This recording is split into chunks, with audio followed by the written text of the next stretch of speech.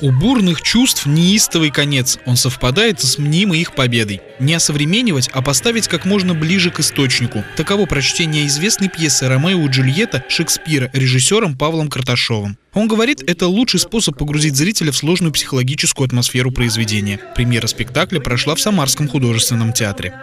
И если очень романтизировать, либо наоборот ос- осовременивать, то вы не расскажете про любовь. Но чтобы выйти на вот то, что присуще высокой трагедии, политики мало.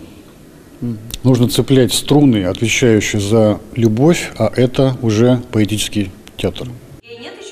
Формат спектакля – поэтический театр. На сцене минимум декораций, динамика в игре актеров, костюмы средневековые, атмосфера той же эпохи, страсти, интриги, ощущение близкой беды. Спустя короткое время между сценой и зрительным залом пропадает невидимый барьер. Постановка полностью поглощает зрителя.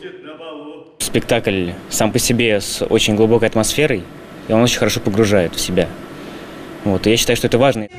Зрители смотрели постановку не отрываясь, а это главный успех любого спектакля. Андрей Горгуленко, Семен Безгинов, Николай Сидоров. События.